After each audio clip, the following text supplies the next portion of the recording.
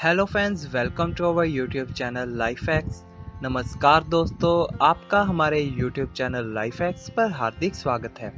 दोस्तों, इस वीडियो में आगे बढ़ने से पहले हम आपको निवेदन करना चाहेंगे कि अगर आपने हमारे चैनल लाइफ एक्स को सब्सक्राइब नहीं किया है तो कृपया पहले इसे सब्सक्राइब करें और हमारे चैनल पर अवेलेबल बेल आइकन को एनेबल ज़रूर करें, ताकि हमारी आने वाली अगली वीडियोस के बारे में आपको यूँ ही जानकारी मिलती रहे।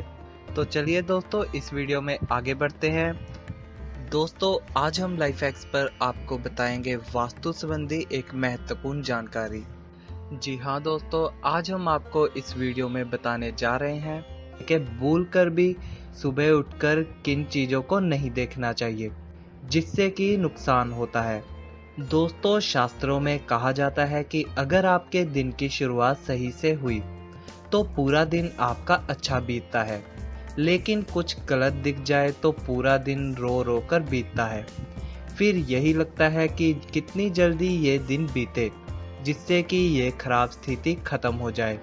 हमारे जीवन में कई ऐसी चीज़ें होती हैं जिन्हें अनदेखा कर देते हैं, कभी। लेकिन इनका सीधा असर आपके जीवन पर किसी न किसी तरीके से पड़ता ही है। वास्तुशास्त्र में कुछ उपाय बताए गए हैं, जिन्हें अपनाकर आप अपनी सुबह के साथ ही पूरे दिन को बेहतर बना सकते हैं। तो चलिए जानते हैं उन उपायों के बारे में। नंबर एक, वास्तुशास्त्र में बताया गया है कि सुबह उठकर कभी भी आईना ना देखें। अगर आपने ऐसा किया तो दिन भर आपके साथ नकारात्मक चीज़ें होगी, जो कि आपको दुखी करेगी। नंबर दो कोशिश करें कि सुबह उठते ही किसी का भी चेहरा ना देखें।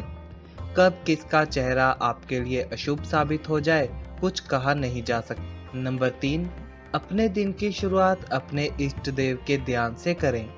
उनके दर्शन करें, इससे आप पर सकारात्मक प्रभाव पड़ेगा, साथ ही आपका दिन अच्छा बीतेगा। नंबर चार, सुबह उठते ही अगर शंख या मंदिर की घंटियों की आवाज़ सुनाई दे तो यह आपके भीतर सकारात्मक ऊर्जा का संचार करती है। नंबर पाँच, कोशिश करें कि सुबह सुबह आप ऐसी तस्वीरें देखें जो आप पर सकारात्मक प्रभाव डाले, जैसे कि नारियल, शंख, मोर, हंस या फूल आदि। नंबर छः सुबह के समय नाश्ता करने से पहले किसी पशु या किसी गाँव का नाम नहीं लेना चाहिए। इससे दिन अच्छा नहीं बीतता है।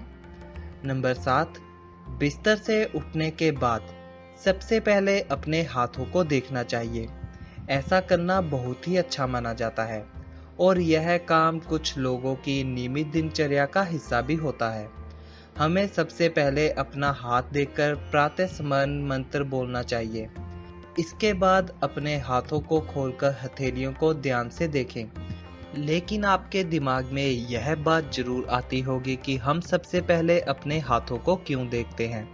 क्योंकि हम हाथों से अपने कर्म करते हैं और यही हमें अपने कर्मों का फल देते हैं। इसीलिए सुबह उठकर अगर हम अपने हाथों को देखते हैं तो हमारा सारा दिन अच्छा बीतेगा।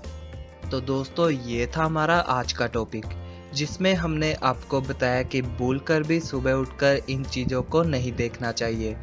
वरना इससे आपका नुकसान हो सकता है। उम्मीद करता हूँ आपको ये जानकारी पसंद आए। अगर आपको ये वीडियो फ़ायदेमंद लगे तो आप इस जानकारी को अपने दोस्तों से ज़रूर शेयर करें। इस वीडियो को ज़्यादा से ज़्यादा शेयर करके ज़्यादा लोगों तक इस जानकारी को पहुँचाएँ। लाइक एंड कमेंट करके अपना फीडबैक भी दें और हमारे चैनल लाइफ एक्स को सब्सक्राइब करना मत भूलें। Keep sharing and keep supporting us हम जल्दी मिलेंगे आपको एक और नई वीडियो के साथ. Thanks for watching